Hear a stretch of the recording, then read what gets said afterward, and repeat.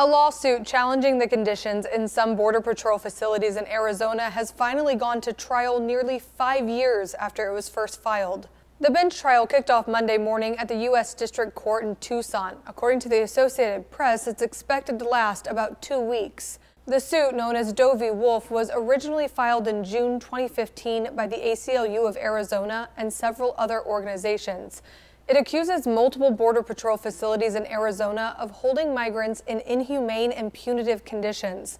Photos submitted back in 2015 showed rusty toilets, detainees sleeping under aluminum blankets on the floor of a crowded cell, and a woman changing her child's diaper among trash and litter. And advocates say immigrants are still being held for long periods of time in freezing and filthy conditions. Border Patrol didn't respond to requests for comment on this case.